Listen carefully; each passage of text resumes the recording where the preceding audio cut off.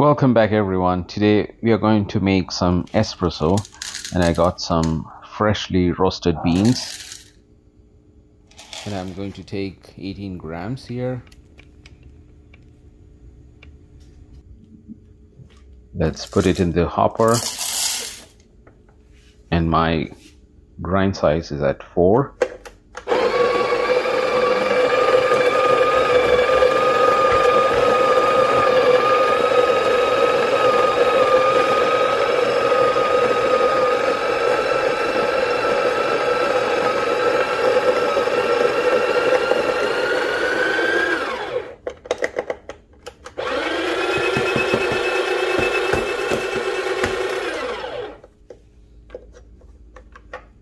so all the 18 grams came out.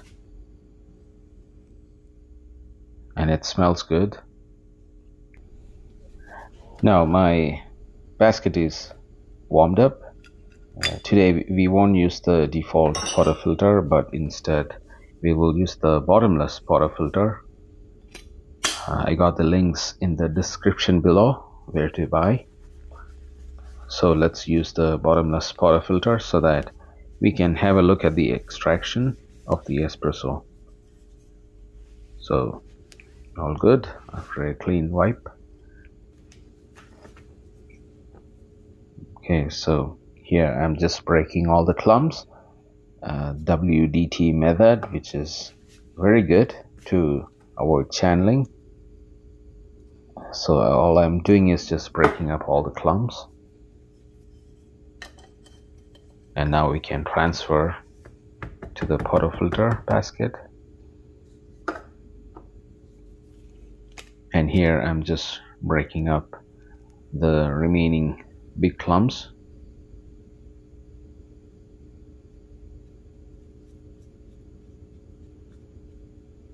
And then we are ready to distribute and tamp.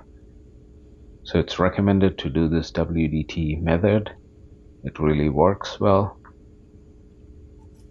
And there'll be a big difference in the taste of the espresso as well.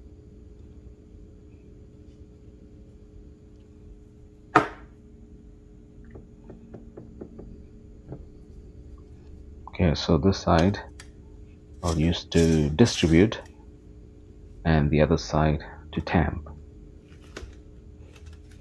Again the link for this accessory it's in the description below.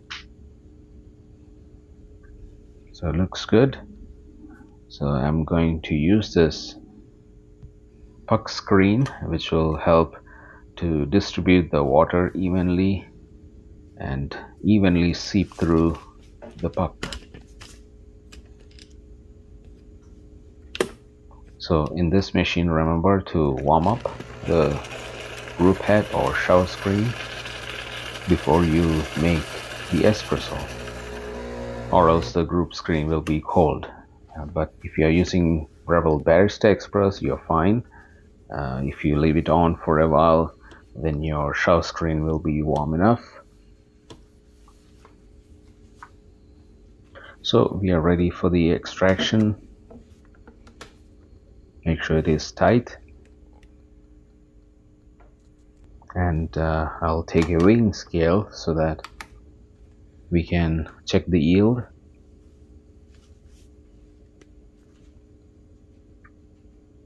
Just taring it. And uh, you should be able to see in this okay double shot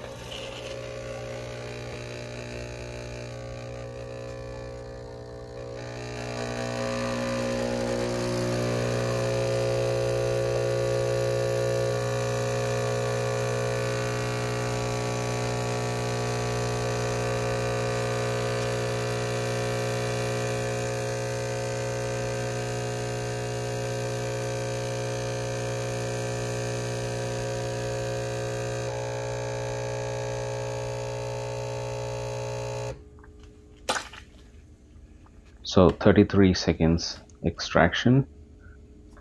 And look at that crema it's a rich cup of espresso. So when you use freshly roasted beans you see a lot of CO2 gas bubbling up. That's the crema that you see. The more fresh the beans are the more crema that you get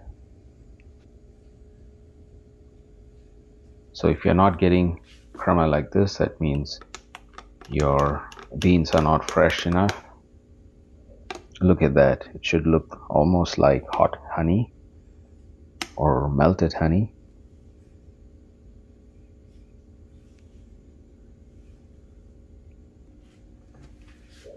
Okay so uh, we are going to make some latte using the 2% milk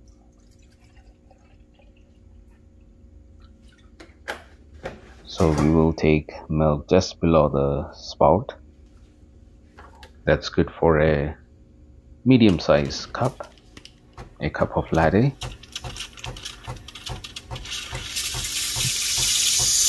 So let's see how to froth the milk properly for latte art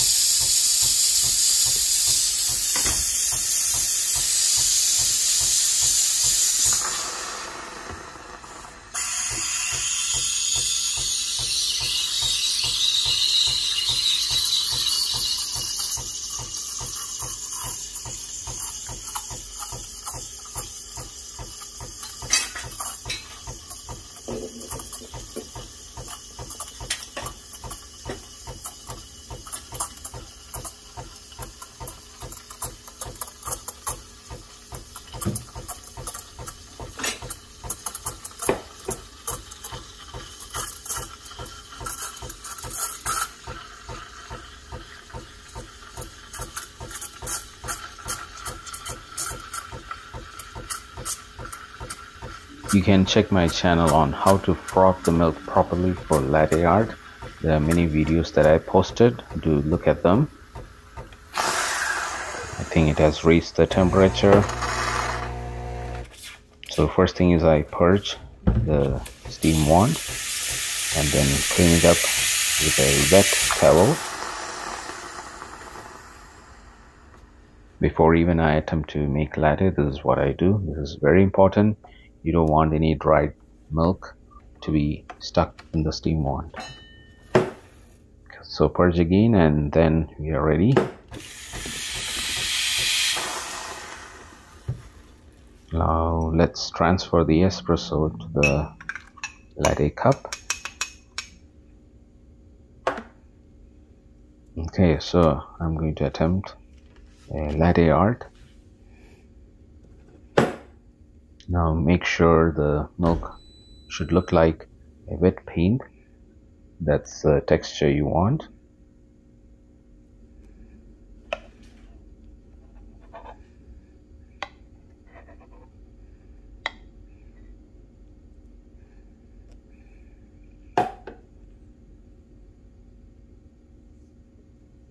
That's a good looking cup of latte.